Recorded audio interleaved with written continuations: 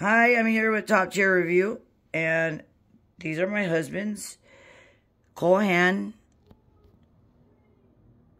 back with the white bottoms. Uh, dress shoe. And, um, well, he bought these because they were supposed to be the best in comfort.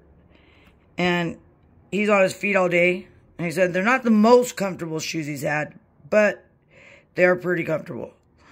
So, I like them. I like the style of them. He loved the style of them. He got a lot of compliments on them. And he wore them every single day. Still does.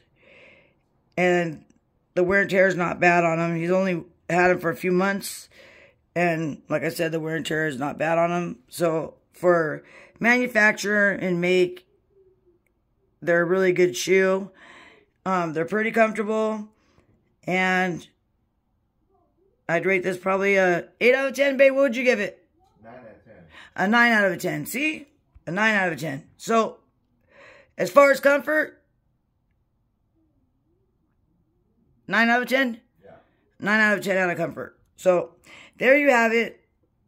I hope you like them as much as we do. Thank you.